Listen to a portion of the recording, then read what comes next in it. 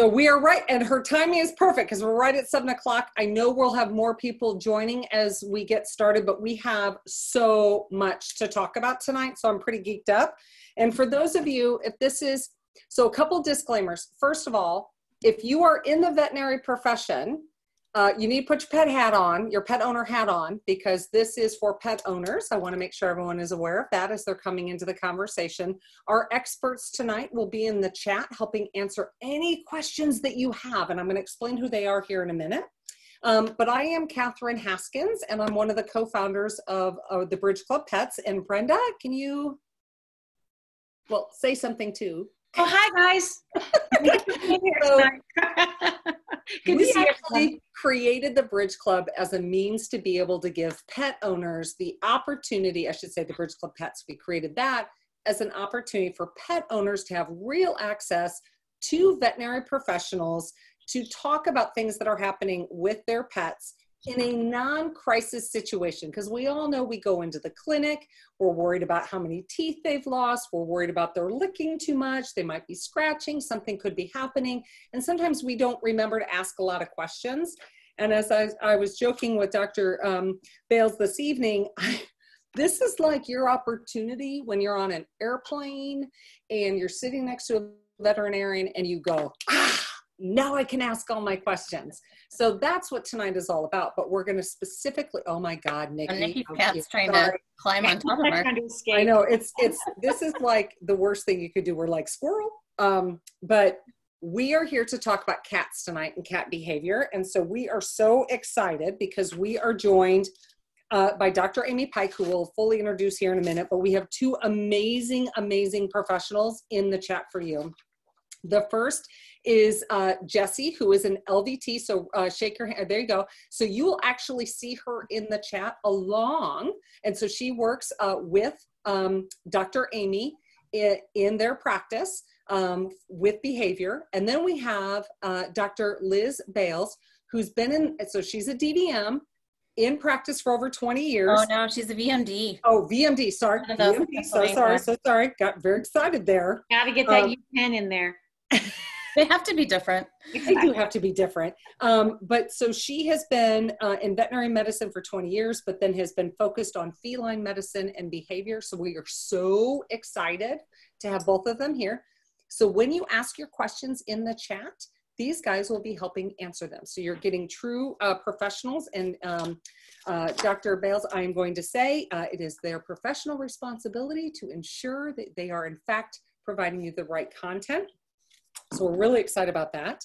Um, so what we are also going to do tonight is go through and have an incredible guest with us. So first of all, as a result of Memorial Day, I do want to advance uh, and say thank you so much, Dr. Amy Pike, for your service because she did serve in the, the military as well. And in her career in the military, she worked with military working dogs. Um, she's also uh, owns her own practice in veterinary behavior. She is a uh, certified veterinary behaviorist, correct? Did I say that correct? Yeah. Okay, okay. Um, and what is the name of your practice? The Animal Behavior Wellness Center. And where are you located? Uh, we have a, I'm located in Fairfax, but we have a practice location also in Richmond, Virginia. Which is absolutely phenomenal. Um, but she's been doing this for over 20 years. And so if we got questions, here's the people to be asking about our cats. Um, so before we get started, we have a tradition at the Bridge Club where we raise our glass and we start with a toast. So for those of you, whether it's LaCroix, uh, as I said to people earlier, I'm doing a little Chardonnay in honor of the cats. Um, raise your glass and I'm gonna turn it over to Amy for her toast. Okay, perfect. So here's to all the cat owners and cat lovers that are out there. Um, may our cats continue to allow us to live in their homes and may they not decide that we can be outsourced because, as you know, dogs have owners and cats have staff. Cheers. Cheers. Good one. Okay, that's a, a separate cutter there, uh, Brenda because mm-hmm. I think that one needs to go out immediately to everybody. I like that one. Perfect. Um, I should remind everybody you had to give your permission when you came in. This is being recorded, so I want to be sure everyone knew that. So, um, Dr. Amy, we're going to dive into this, but I think, you know, people think behavior, they think of all kinds of things, right? Mm-hmm. Can you explain what kind of behavior you practice? Yeah, so um, I think people, when they hear the term behavior, they sort of automatically think of training, like sit um, down, you know, teaching cues. But really, I'm more like, as a boarded veterinary behaviorist, I'm more like a psychiatrist for pets. So it's less about training and more about changing the emotion associated with um, triggers. Well, that's kind of cool. So I'm sure immediately people are like, wait, what? So Yeah. start throwing in the questions. Automatically, it's going to start blowing up right now. I just saw I it start happening. So before we get into the fun, let's ask one of our fun questions where we're going to actually give away a book, shall Okay. we? Which uh, should we start with? And you have to make sure you're going to give the real answer. So Everyone, look in your chat. Can we can we talk about the book real quick? Oh yeah, talk about the book. Yeah. So I'm really excited. This is called Decoding Your Cat. Um, we, as a college, we made American College of Veterinary Behaviorists. We created a book a couple years ago called Decoding Your Dog, and now we have the cat version out because it was so popular. So I'm really excited. It comes out next week, um, and so the Bridge Club has generously purchased some of these books, and they're going to give them away. So go ahead, take. So I'm going to ask the question. Whoever gets it right, then I'm going to ask you to personally send me down at the bottom. Send me your address. If not, I will send you my email so you can send me your address and I can send this to you. Um, so, what age is a cat a super senior? Does anyone know what age? Oh, keep going. Oh, they're going so fast. I know. I know it's so. Oh, Oh, first oh. one. Okay, whoever iPhone is, Who is iPhone? iPhone, whoever iPhone is, you need to private message me. It is over 20, is a super senior. So, way to go. If you private message to Catherine, the Bridge Club, your address and your name besides iPhone, And then first I will send you this book. It was Yes, that iPhone- is you, iPhone. There were 2 I'm gonna go. iPhones, so I'm make sure go. to, I'm gonna go. Yes, yes, that is you. Okay. Yeah. That's perfect. Okay, so with that question, that's a fun one. We'll have a couple of those during this. We have a couple fun questions that we're going to ask as we're going along. So let's hit the really hard question really quick here. Oops, my notes. How can we? How can our cats tell us if something is wrong? Yeah, that's a really good question. Um, and I get this question quite a bit from my clients because the first thing that they will see in a cat, in their cat, if something is wrong, is a change in behavior. So um, I always say any change in behavior is medical until proven otherwise. Behavior is truly a rule out diagnosis. So you, if you see a change in behavior of your cat, they start to hiss more, they start to hide more, they poop or pee outside the litter box, they become more aggressive, any of that type of stuff, you definitely want to seek care from your veterinarian because it could be a medical issue um, first and foremost. Okay, wow. I think uh, that's, I'm already seeing we're going to have questions on different things here. But let's go into what are the top concerns in all of what you receive hmm uh, from pet owners that are constantly coming forward? What are the top three concerns that const- constantly come forward? Uh, the first one is definitely pooping and peeing outside the litter box. Um, yeah. yeah, yeah. It's it's an intolerable behavior from the from the human standpoint. Um, aggression towards either people or other pets in the household, and then um, wanting to introduce a new cat and not really knowing how to go about it. So there was automatically a question in here. I do want to like, what happened? What is your cat saying to you if they stop suddenly eating the food that they had been eating? What is that saying? Well, first of all, that definitely could be medical. Um, it could be dental pain, it could be stomach, GI issues.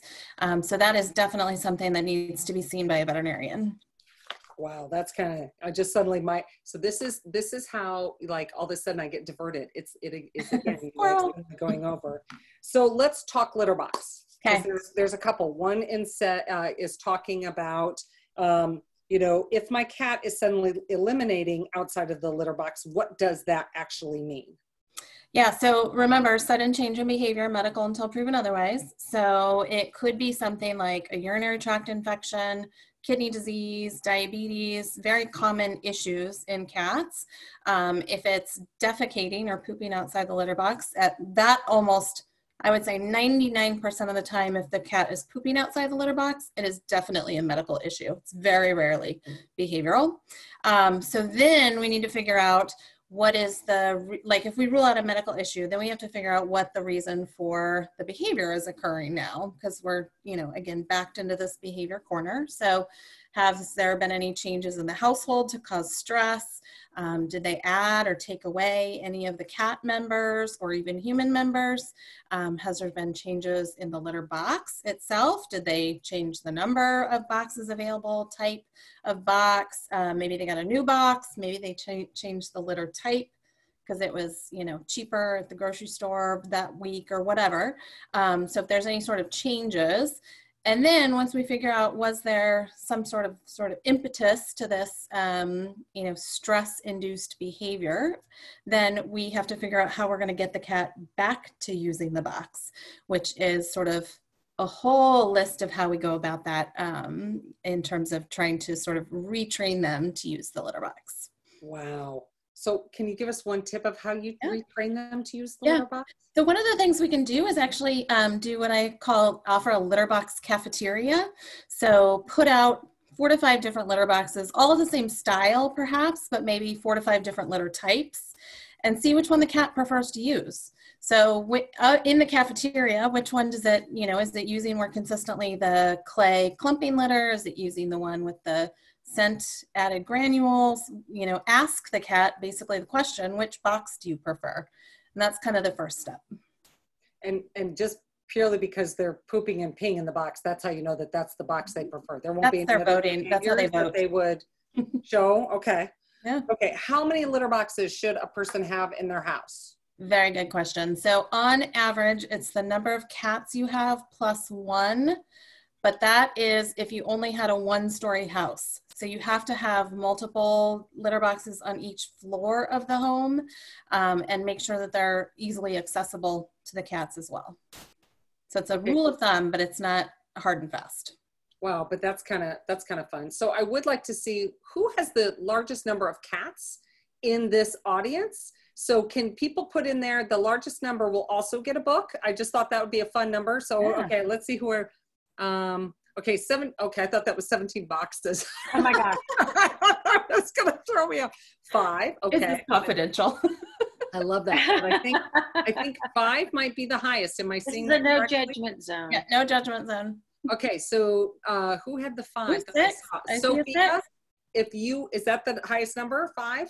No, six. Just Jocelyn? Is there, is there six? Where's there a six? Oh, Jocelyn has six. So Jocelyn uh, Durenberger, if you will private Oh, yeah. message either Brenda or myself, we will get you that book um, with your address because that is awesome. That's too fun. I just thought it's a fun little. Oh my gosh, but Karen has three moms and 14 kittens. Oh, goodness. well then, Karen, do the same. We'll get you a book too. Yeah, I think she deserves a book too. I think the fact she's got all the That was babies. like a lot of work. Yeah. That seems like a lot, Yes. a lot of work. So I think we'll give Yeah. her one too. But don't Might worry, be we're gonna than give a away. we're we're gonna give away more books. Don't worry uh, as we go through this. So let's hit aggression. Wow. So someone brought up in the chat earlier because it's already blowing up uh, the idea that they have a dog, but when they go to pet their cat, their cat bites them. So let's talk about different levels of aggression, but answer that question first, and then we'll. Yeah. So for that, I mean, there could be several different reasons why that particular cat is um, biting them. It could be number one that they don't want to be petted. Um, many cats sort of tolerate our human physical interaction, um, and some actually don't enjoy it, especially depending on where you are touching them. Um, so the best place to scratch a cat is kind of at the side here, or maybe like around the whiskers. Some like it on the back of the head, but not always. Um, the other thing that could be is you may smell like the dog. And so cats are very smell sensitive. And so if you smell like the dog and he's like, you know what, I don't like that dog. Um, when you're touching me and you now smell like the dog, maybe that's what's causing the issue. So other aggression, is it the same thing? Could it be an odor issue? Could it be those things? Or talk to us about like what other Yeah. type of aggression do you see? Yeah, so it's all rooted in fear, anxiety, and stress. So even the smell thing is all about fear. I'm scared of the dog and, and don't like that dog. It makes me anxious. Um, so it could be a smell thing. It could be, um, you know, they're scared of strangers and strangers approach them. It could be, I'm scared of handling. And so then we pick the cat up and it you know, claws you to try and get away. So there are all kinds of reasons for aggression, but ultimately it's all based in fear and anxiety. So how do you approach a cat? Let's give another tip. I love the the scratching under here and keeping it, you know, really uh, soft. What other advice would you give to pet owners or cat owners in particular? If you've got an aggressive cat, how can they approach them? Because if they want them to be lovey-dovey, yeah, yeah. I mean, sometimes it is really coming to terms with the fact that they may not necessarily want what we want from the human standpoint. Um, but we can use food to our advantage. So, like high value food items, like some cats like um, salmon or little um, shrimp, you know, like that kind of thing. So, if you put down the shrimp next to you and they want to come over and get it, then they're going to help. That's going to help associate you with positive things. Um, but ultimately, we need to be respectful of them as well. And if they don't want to be petted, um, you know, no means no, ladies. That's awesome. That is awesome. So let's talk a little bit about the introduction of a new cat. So yeah. Dr. Bales is getting a new cat. She doesn't count because this is what she does uh, day to day. But in general, as people are looking at bringing in that uh, that new cat, what is it that they can do to help that introduction? And especially, you know, this uh, Jocelyn's got the six little babies, right? So she's going to whether she's fostering that, like however that's working, but how do you introduce a new cat? Yeah, so the biggest thing that you want to do is take it slow. Um, I cannot stress taking it slow enough um, because the slower that we go, the better off it's going to be ultimately. So if you think you've gone long enough of introduction, you haven't gone long enough, right? So keep going. So the first thing is you want to make sure that each cat has a new has its own territory because territory is huge for a cat. They they want their own space, their own living zone. You kind of have to think about it as like um, we're the college and we're picking the room the dorm mates right? They don't necessarily get to choose each other. And so we have to take that into account too, make sure that we um, make sure they have their own space, their own bed, their own food, water, all that kind of stuff. And then we use um, scent, like creating a common scent profile basically where you pet one cat and then you go and pet the other cat and then you end up back on the first cat so that now the two cats smell the same. So again oh. that scent is huge for cats right? So um, you definitely want to make sure that they smell alike. Then we actually use what we call food therapy where if one cat is say in a bedroom and the other cat is in the hallway we feed the cats on either side of the door so that we're associating them with really good things like if they um, you know get a little dollop of canned food or even like you know, just some tuna, canned tuna, something like that.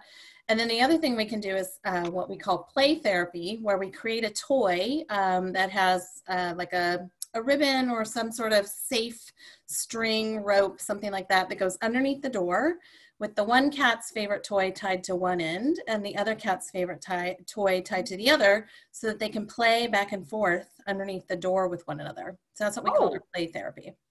That's fun. and do they do they end up I'm, I'm sorry like do they really engage? Will they find themselves just because oftentimes they will. Yeah absolutely. So you brought up the food therapy so i think this is a great time. So everyone take a, a breather from your questions from one second and let's see how many of you can answer. Or the first person i should say let's be real careful. The first person to tell me how many meals make sure i'm wording this right should a cat eat a day or eats a day how many meals does the, the average cat eat in the wild if given on their own? Okay. So not because, you know, we feed them, right? Like we put wild. their bowl down. Okay. So if they were on their own in the wild, how many meals would they eat? Okay, so Lori and Carol, Lori had 10, Carol had 12. That's and exactly Kurt, right. 10 to Kurt, 12. You don't count. You were you were on the wrong end. You were on the wrong end. I know Kurt well, so I can say that to him. Um, so, I, so I think Lori and I think and the twelve. Where was the twelve? Who had the twelve? Did I say? There were a couple of twelves. Carol. So Lori and tw- uh, Carol had it first.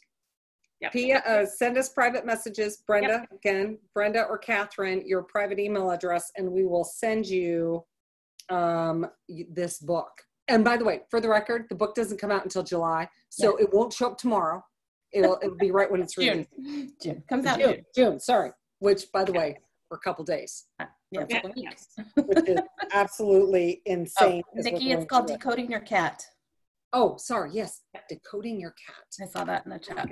I told you guys this would blow up. You didn't believe Did it. I? Gosh, Dr. Amy, you're like talking, you're watching the chat. It, just, like, it keeps popping up. So I'm so used to um, multitasking. I'm a mom. yeah. Yeah, there you go. Okay, so let's talk about how to make our cats more social. A Couple Okay. questions on how do I, you know, oh, I'm sorry, no, wait. Ezra just asked this one that caught my attention. What do you do when you accidentally trip over your cat? Say sorry. Uh, yeah, hope hope for the best and say you're sorry. Make sure they're not injured. Make sure they're not injured. Apologize. Yes, good one, Cindy. Um, okay, so how do we get our cats to be more social? Is that is that what you want to Yeah, do? yeah, yeah. Or answer? Okay, so um, I kind of talked about it a little bit more, a little bit about the like how do we get them to be okay with like being petted. Um, so using that high value food item. So let let's say we want them to be more social with our guests. You can certainly um, feed them in the area where um, you know people are hanging out in the living room. You could put them on their cat tower with like some high value stuff like tuna or salmon or whatever. Um, and then the other thing is making sure that you are your cat's advocate so that if they don't want to be petted by people, they just want to be admired and adored from afar, um, that you make sure that the um, your guests are compliant with that. I wish that my husband would like leave little high value things around for me to like go hunt and find, right? I know, like little diamond earrings here, there, and oh everywhere. Oh my God, would that not be the best? That would be- whenever whenever you say that dr amy we've, we've had dr amy on before too when whenever she says high value i'm i'm literally pict- picturing like little diamond earrings little bracelet here and there maybe a nice scarf what an amazing marriage that would be, though, right, Brenda? Like, how much would you love your husband? oh my gosh it would be I, he, he really ought to listen to this after for, the for my husband, he'd like the high value gifts to be a golf club here. you Yeah. know? There'd be- Yeah. there'd be Bottle of like a- whiskey. little whiskey yeah so so let's talk about let's pivot just a section because i saw this come up is how often let's do it by ages right how often should a cat see their vet so let's go Oh, kitten let's go question. You know great super senior talk to us about the eight like Yeah. how often should a cat see their veterinarian So for the, I think it's going to be the most at either end of the spectrum, right? You're going to see your veterinarian most when the uh, cats are kittens and when they are seniors, because the majority of the issues happen on either of those. So for the kittens, it's definitely important to get through that vaccine series, um, and you know that's going to be every three to four weeks for the first you know several months of the cat's um, life. Then if they're not spayed or neutered, they're going to have to be spayed or neutered. You know anywhere between five to seven months, depending on the veterinarian. Um, and then it's generally recommended to see, see your vet at least twice a year. Um, cats are very, very stoic, and oftentimes we don't catch things early enough. And the sooner we catch disease processes, especially kidney disease, the better off that they're going to be um, long term. So, seeing them at least every six months um, for a well visit and checkup and or blood work and then when they're seniors, they definitely need to have blood work at least every six months during that time frame. So um, not only are they getting examined, but they're getting full labs as well. No i like that one i like that one so let's let's do some advice to everybody let's Okay. give them some tips right because that's one of the reasons that we hope people come to the bridge club is they're actually learning something of great value Yeah. So let's get some training tips. Okay. Uh, a lot of conversation first about how do you get them to go where you don't want them to go. I saw aluminum foil in here. Like you Mhm. don't want them on the counter. You don't want to. So what what are the things that you should do there? Yeah, so I mean, you can make those places sort of inhospitable. Um, you know, you want to make sure that you're not putting any of their food up there. You're not trying to feed them on the kitchen counter, but then you expect them not to go on the kitchen counter other times. So um, I have had people put like aluminum foil on there, etc. I don't recommend any of the like products that are um, kind of like the compressed air or the um, uh, scat mats where it's like a little shock, just because that can really scare the cat and and really kind of damage your relationship with them. Um, but you want to teach them the positive behavior, right? Like, I don't want you to do this. What do I want you to do instead? And so we recommend using um, clicker training or marker training. So this is a clicker if you haven't seen one before. This is my favorite piece of training equipment on the face of the planet. This is all you will need plus treats. Um, so if you can hear it, It's literally just a click.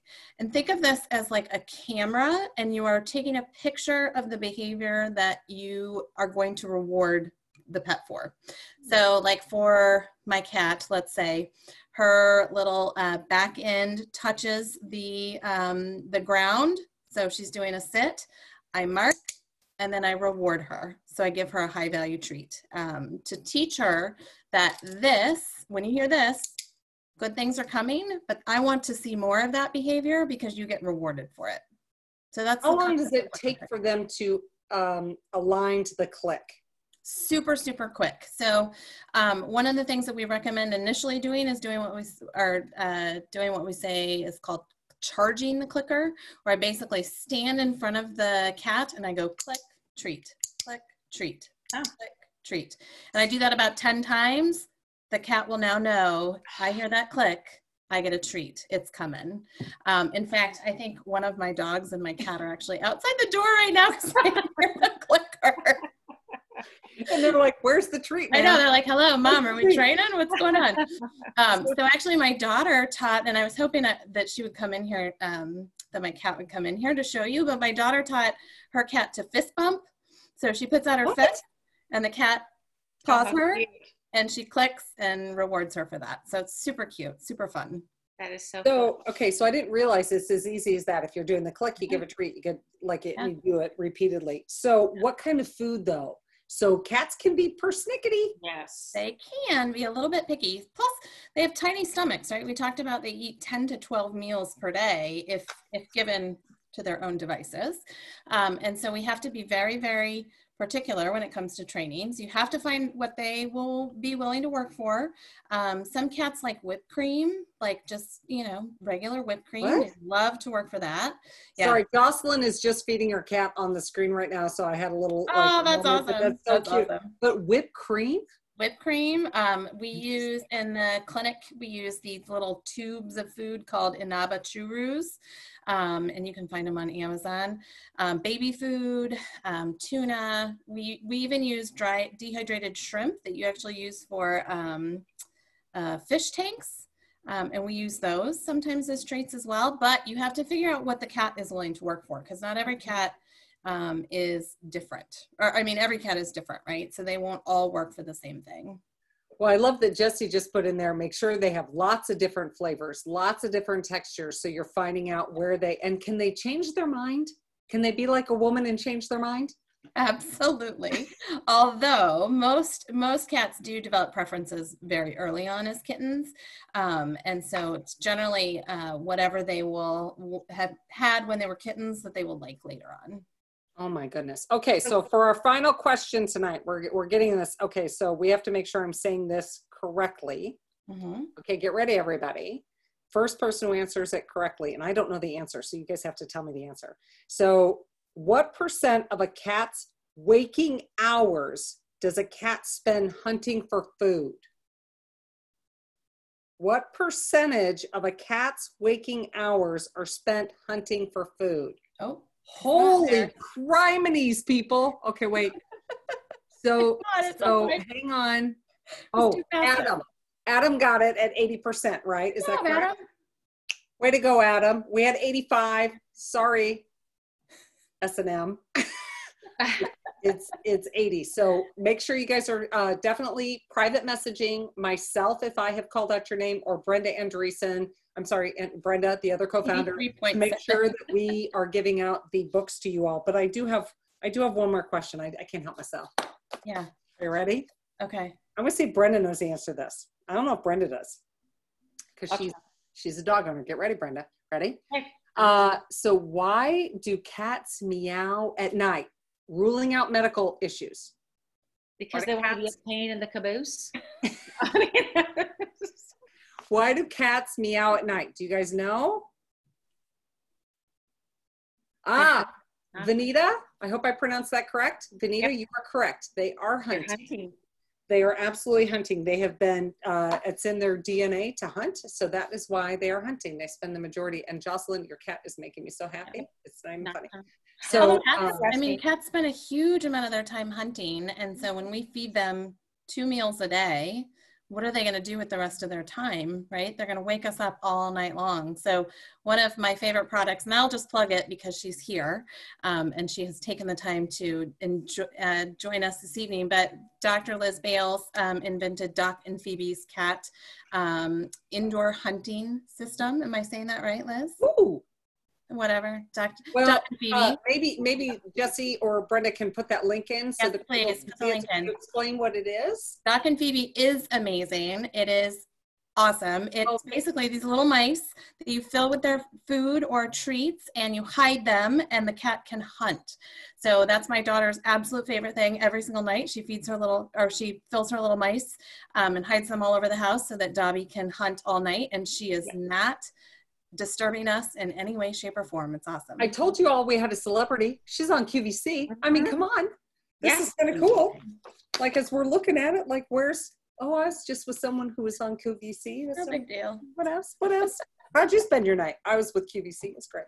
That's literally my dream job, by the way. I put the link to, Just to be the host, not to sell, not to be the person inventor like you, but to just sell something. Okay, let's talk about a really serious issue because this is important. Um, we've all been housebound Mm. and we are creating our own stress. We're all uh, very anxious and trying to get back to life as normal. What are we doing to our cats? Yeah, I think some of our cats are definitely wondering um, what we did to get fired or, you know, what exactly we're doing at home all the time. Um, I know my cat is super, super happy because my daughter is home 24 7 and she is loving it. But I think there's some cats that are not happy about it.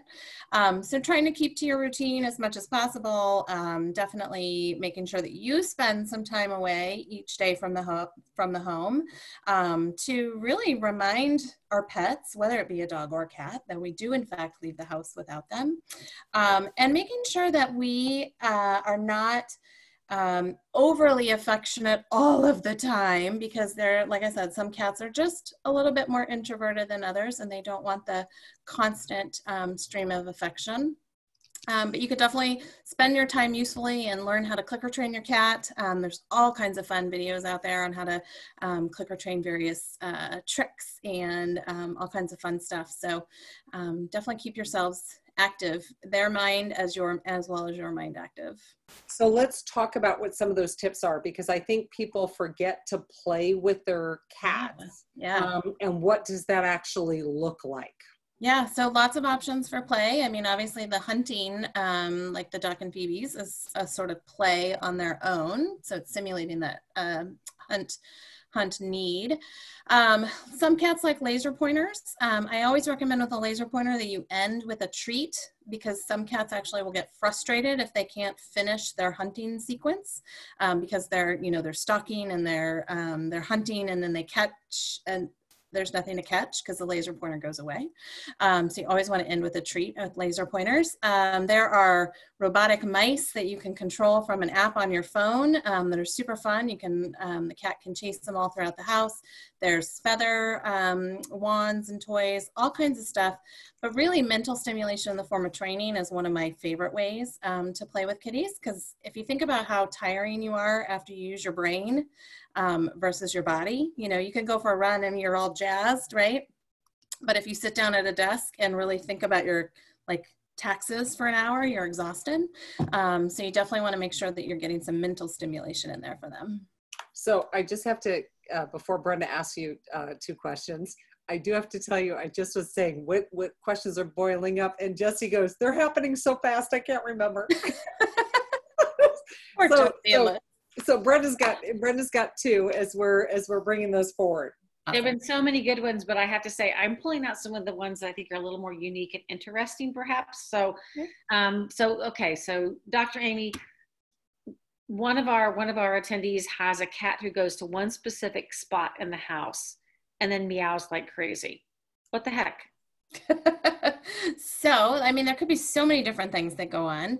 Um, it could have been that they're they can hear a noise in that area, like maybe I've actually had um, owners bring their cats in because they're staring at a wall. Turns out they had mice in their in their wall. Oh, Um, you know, so maybe that's it. It could be that they hear people outside from that spot. It could be that that behavior has been rewarded in the past, meaning you've paid attention to the cat. And so now they know that if I go to that spot and I meow enough at you, um, you'll actually come and pay attention to me. So there's so many different reasons. I kind of like everything but the mice in the walls. I, Answer. Yeah. I kind of with you. Yeah. That kind of scares the crap out of me. I'm not. I know. Okay, and now this is really hard because there've really been so many very interesting ones. So I'm going to ask one that, that probably applies to, to more people. And then if there's time, I'll ask a couple of the really fun, funky ones that I'm just dying to know the answer to. but the, but the one that I think will apply to a lot of people is like the tail. Like, you know, what are the different Oh, locations of the tail mean Yeah. and what should we watch for? Yeah. So my favorite um, position for the tail is that up question, looks like a question mark.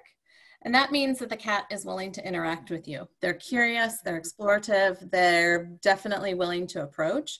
Um, now, if the tail is tucked, that's a fearful cat. Um, if you notice a cat lying down and they are doing this little flick with their tail, like it's just a very quick little flick, that means that a bite is about to potentially happen. Oh, don't interact with that cat they're pretty upset um, so all kinds of reasons but that question mark is what you want to look for for a nice happy. so that's the um, time to approach cat. with a little scratch to go. You're cool for me. exactly Okay, exactly. Interesting. I like that. Okay. What was Okay. one of the other ones, Brenda? All right, so this one I think is just incredibly interesting. So one of our one of our attendees has a cat that likes to be spanked. Now I know this is a family show, but I couldn't resist. we need to go there yeah, I mean, yeah, it's just so no i get it some i mean there are definitely some dogs and cats that just you know prefer to just kind of have that you know nice harder um you know butt pat um, and i assume they're probably not spanking them in a bad way right? Because nobody wants a, a bad spank a punishment spank. Um, but that's probably just a personal preference. I have a dog that likes that too. He would prefer i just kind of like you know bang on him rather than just like scratch him. Give him a thwack. yeah. So that was I thought the most interesting one of all. But I think another like good one that is really worth asking is self-comforting activities for cats. I mean, is licking yes obsessively self-comforting? I mean, obviously there are different kinds of things. So what what's a good self-comfort and what is cause for concern? Well, so again, any new behavior, um, if it's a brand new thing, we need to make sure we're ruling out a medical issue. So see your veterinarian. Um, but cats will often groom, them, groom themselves as a way to um, displace their anxiety. So they may also like scratch. They, um, you know, if they're licking excessively though, like to the point of bald patches and causing damage to themselves, that is definitely something that you need to see your veterinarian for because that is a cause for concern. Again, it could be medical, but if it's behavioral, there's some significant stress there that, that needs to be addressed. Okay. I'm assuming that applies to someone just said, what about licking a plastic bag? I'm assuming that's an anxiety. It could be. Yeah, it also could be GI. Um, some cats that have what we call pica, meaning they eat things that they shouldn't, like inanimate objects, um, plastic rings, um, hair ties. That actually could be underlying GI, like inflammatory bowel syndrome. So what about like so again now we're on the firing squad section of the you know the conversation where it's just like tell us about this tell us about that um stop to get a, a, a cat to stop scratching the furniture Oh, that's a very good question. Um, yeah, so again, another behavior that the humans don't like. Um, so cats will scratch furniture um, for a couple different reasons. They will scratch to um, condition their claws to get rid of the, like the outer um, layers of the claw. Um, they will scratch to stretch. So it's a really easy way to stretch up your arms and to stretch your body like that. Um, but they also uh, scratch to mark territory. And so if we can um, create other ways for them to mark territory, including having like a cat scratching post right at that location. Um, you can cover your furniture with like, um, I've had people do like tin foil. I prefer double um, sided sticky tape um, to kind of keep the cat away from the inappropriate things. I saw Jesse earlier uh, mention something about FeliScratch in the chat. I love FeliScratch. The only problem here in the US is it is going off the market. Um, FeliScratch is a pheromone product basically that attracts the cat to a, a scratching post to um, encourage them to scratch on that. the other thing you want to make sure is that the cat has, you know, enough other areas in the household territory wise because a lot of these guys are marking their territory because they're stressed because of inner conflict. Um, so making sure that they have lots of territory um, options within um, the household so let's talk, well, other than the fact that aside from toilet paper, you just suddenly had everyone do a run on all the, le- the remaining. FeliScratch. Yeah. So now that you have just done that. I know. Um, but let's talk a, a little bit about the pheromones. Let's talk Yeah. about what it does for the cats and what people can be doing, etc. Yeah, good question. So the um, two pheromone products that are still in the market and that I use um, quite frequently are Feliway, and they call that Feliway Classic.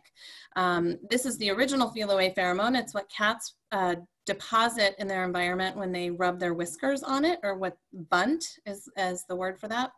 Um, and so they are marking their territory as a means to say, I am here um, and I have been here. And so it's the process of marking their territory that helps them feel more comfortable, but also coming upon that pheromone later in their environment to say, ah, this is comfortable and familiar. So the Feliway Classic is the uh, sort of um, synthetic version of that facial pheromone.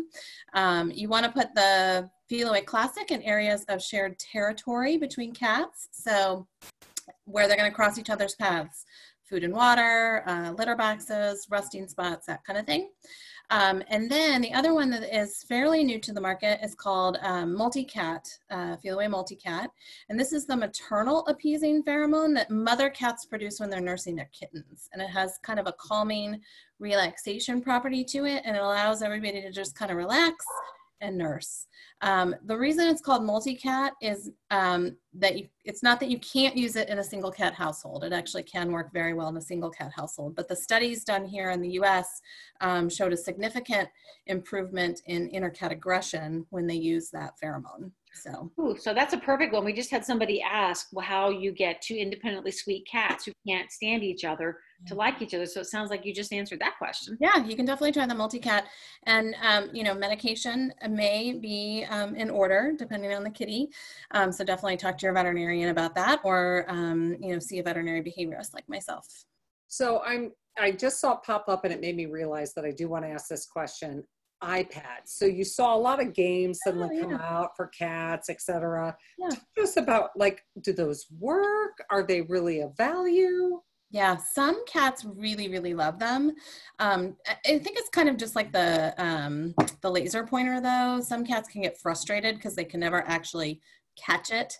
Um, but like I always tell people, whether when are they using the iPad or like the um, the laser pointer, definitely end with some sort of food reward so that they're completing that sequence. So we do have a couple of. Why is that? Why is the uh, FeliScratch going off the market? It just wasn't as popular here as it was in, in Europe, unfortunately. So Oh, get it from the Well, UK. if everyone had bought it, I know. I bought a ton. Don't worry. I was doing my part. oh my goodness. Okay, so let's look if we've got other questions that are popping up before we, because we always promise to like get us where you keep wanting more, that we're not going on and using up your entire evening as we're going for. Oh my we're God, I can talk for like oh 36 my gosh. hours straight about cats. So Brenda, is there any additional question that we need to pop up in here or should we start to begin to wrap it up? Here's a real good one I think we should ask as we're talking about, um, you know, the Feliway. Um, is there any negative interaction with dogs? Do people who have cats and dogs need to worry about that in their household? Oh, super. No, no, they're not cross-reactive, um, those pheromones. So that's the nice thing is even if you have dogs, you can use the Feliway pheromones and vice versa. Good. Perfect. Safety love that. Safety first. I love that. Absolutely. Okay, so do we have one, I'm trying to see, do we have one more question for the cats? I don't think we did, otherwise I'd give away one more. book. Can you think of one really quick? Dr. Amy? Um, name a non-shedding breed of cat. Ooh, Oh, can you name, oh, so, Sphynx. Okay. is that Not right? the bald ones, but what about the haired ones? Oh. A Rex. That's right. Yeah. So Oh, Devon, okay, Devon's okay, so Leslie gets it. Yeah. I love her. I mean, the bald ones obviously don't shed either. I, I love her confidence. Rex, question mark? Rex? Rex question. Yeah. Like I'm not quite sure. So so Leslie, send me your contact information, and then we'll definitely make sure that. Oh, and if you've never heard of a Rex, Linda, you are missing out. We have my own personal cat is a Devon Rex, and our clinic cats are Devon Rexes, and they are delightful. Oh my gosh! So how do you get? I don't think this is. Can you ask this? How What? can you get your cat from shedding? You can't. No, I mean, you can brush them more often. Um, that will help. There is um, a new food that I'm super excited to learn more about. It's brand new on the market. Weren't we just talking about this, Catherine? Yeah, you were. And so Yeah. I know nothing, and and we may have to unmute Dr. Uh, Bales for this because she may know. I know more. just about as much um, as nothing, but basically, it, you feed it to the cat to make them less um, allergenic to you as the human. So it's just out by Purina. I'm really anxious to look at more um, more research about that, but it seems super cool. It's going to be kind of like kale, though, probably, right? I mean, Maybe. we really don't. You know, They're going to be like, really? yeah. Yeah. Very So we- possible. Hunger strikes coming from many cats across the United States. Okay, so we will ask one, you know, uh, uh, sticky uh, conversation, and then we'll let's talk a little bit about raw diets. Let's talk about what cats eat, and is raw diet a part of it? Yeah. Uh, so, So- talk to us about that. Yeah, so I mean, cats are um, obligate carnivores, so they need a lot of protein. Um, they do have some, you know, they they will eat some um, vegetables and grains and that kind of thing.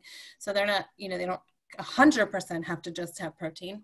I'm not a fan of raw diets, I'll be honest. Um, most veterinarians that you talk to are not, just for the big issue of disease transmission. So we cannot control what is, um, you know, being processed at the processing plant how many humans come down with salmonella every year because of you know chicken or raw foods um, that aren't cooked right um, and certainly your cats can get that as well um, not to mention that if they are shedding any of these organisms they can be a transmitter to people um, children and immunocompromised and that kind of thing so not a not a big fan of um, of the raw foods It's very interesting as we're looking at. I saw one other one that came up here. Um, oh dr bales has the research i love it you need to unmute her Oh wait, here we go. I'm gonna Oh. unmute. Okay, I'm gonna unmute you. Here we go. Get ready. she's a scientist You are unmuted. Go. uh-oh Yes, I have been imbibing.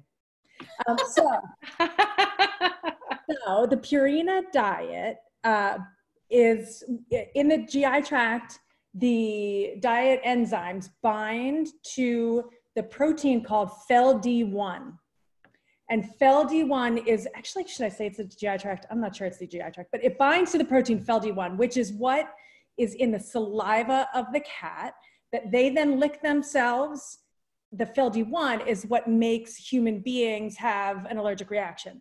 Oh. So when the elements of the diet bind to the FeLD1, then it changes the composition of that chemical so that it doesn't affect human beings. Um, and so far, I think it's working at my house. Oh, really? I didn't know. So Little secret: I'm allergic, and my daughter's allergic, and we just itch. Um, and I think it's helping. That's awesome. okay, so interesting. How long did it take for you to notice? Now, recognizing everyone needs to talk to their veterinarian, everyone needs to go through all that. But how long did you notice before you noticed a change? Not long, like a week and a half, two weeks. Wow, that's. But yeah, it's quick. It was quick for us. That's So the kale is worth it. Okay, that's good. And there's also they're working on it. I, Amy, you might know who this is. Someone's working on a vaccine that is meant to um, to uh, have cats stop producing FeLD1. I don't really know much about that, and I think it's not ready for the market. But Purina, you can get it. I got mine at Chewy.com, delivered right to my door. So Who doesn't love that? So, so for the record, no one is sponsoring this. These are authentic Yes. statements that are coming out here. This is not. I'm not. So, Yeah. so it does That's give me a reason to go to Purina and have a conversation with them. But this is fantastic. This absolutely is exactly why. Oh, what's it called? Yeah, I don't remember what it's called either. nouns you people want. Hold on, let me. I'll, I'll look it up. I know, be able to Google it, right? Yeah. And and yes, and both Brenda and I are big fans of Chewy. So uh, only because I'm too lazy to go to the pet store. I was saying anything that makes my life easier and I'm not Well, carrying the I 90 mean, nowadays- dog food out. Right. Yes. And all I'm going to say is the first Christmas card I get every year is from Chewy before I get it from anyone else. Anyone else? Yeah. It's always Chewy. So I do appreciate that. They're We addressing. are, you guys, now. we are at the end. While Dr. Bales is trying to find this, we are at the end. Pro plan, uh, easy for me to say, pro plan live clear. Ooh, And I just, Pro Plan Live Clear. She just typed it in there so you all have it. It's not prescription? no, Fantastic. Oh, The better, better. right? The Yeah. better. Talk to your veterinarian if it's best for, for your pet based on what your pet's health uh, conditions are. And then if it works for your family, I think that is fantastic. That Love is it. probably number six of the fantastics uh, this night. If you have been on with us early. Drinking game. Yeah, it should be a drink. How many times can Catherine say the word fantastic? Mhm. Um, so you guys, with this, we are going to do a parting shot here from uh, Dr. Amy. Uh, Oh and my goodness, have any- Dr. Ilona Rodan is on here. Can we just say hello? Hello. Oh, where is One she? the most? Is she on here? amazing feline veterinarians on the face of the planet. Okay, is she? I don't see. Where is she? Yeah, she not well, turn I on just her Oh, camera? in the chat. Where is she? Oh, there she is. I see her Is picture. you? Hi, She's not below Lona. me? Okay. Well, Dr. Rodan, one of my idols. A lot of our favorite cats. so please here. explain who she is so she gets a little call out here so people. She is a feline veterinarian and one of like the premier feline veterinarians in the entire world. She uh, lectures everywhere. So all we'll say is, uh, then all of a sudden if we get corrected because she goes, nope, that's not right. that's not going to happen, but we, because we have the best of the best on this, which is fantastic. Um, okay, so we are now at the end, guys. We want to make sure that you all have had a great experience. I'm going to post in here in two seconds uh, the actual survey. If you could give us your feedback on this survey of uh, your experience, that would be fantastic because we want to continue to bring you incredible conversations and content uh, that means the world to you. So as we, I'm going to quickly, Brenda, I'm quickly pulling it up. So keep filling Okay. the dead space as I keep talking. Okay, yeah. So please do let us know when when when you send when Catherine sends a survey, fill it out. Let us know how you liked it, but also let us know what other things you would like to hear. We've got um, the Bridge Club Pets has a Facebook page, and you can post some topics on there, or just put them in the chat at the end of this conversation, and um, we'll hang on a little bit longer and make sure to collect all those things up so we can be talking about the kinds of things that you guys want to know about. And we are fortunate. Catherine and I have a wide collection of friends who are phenomenal veterinary professionals and experts in so many areas. So it's really fun to be able to connect the people we know with the people who need the information that they have. But we promise, so I'm not fast enough to find that link. So I will send it to each one of you um, so that you have the link handy. Um, and we love all your feedback, but we're going to also send you all the videos so that you'll be able to go through and get all the, um, if you're like, oh, I missed that one piece, I want to make sure I get the, the information on it. And then we will also have on our website every single question broken out so that it'll be easy for you guys to reference. Um, but we also know that sometimes it's hard to figure out how do you leave this conversation. There's a little button in the bottom corner called end, and you can get out of the conversation. I'm going to stay on a little bit longer uh, to make sure that any final questions get put in here that we can see if we can help answer. And also, then I will force quit it here in about a minute or so so that you all can then exit. But before we do that, we need to have final words from Dr. Amy Oh, and our yeah. final toast. I forgot final toast. Oh, Um, look at her. Oh, shoot. I, ah, words are hard. Um, because I am joined by two amazing feline veterinarians on this, I just want to say cheers to all the feline vets out there because you are in the trenches dealing with these kitty cats every single day and taking care of their pet parents. So cheers to you. Cheers. And I want to give a special call out to both Dr. Bales and to Jesse. Mhm. This chat has been blowing up. Mhm. And if it were not for them and the entire veterinary team providing the professional responsibility, see, did it again, see, I'm there for you, um, of giving you really concrete advice, uh, we would not be where we are today. So huge, huge thank you. They are volunteering their time, everyone. I want to make sure you know this. This is something that they're doing out of the graciousness of their heart. So thank you and toast to cheers to both of you. Cheers on that. Yes, indeed, all of you.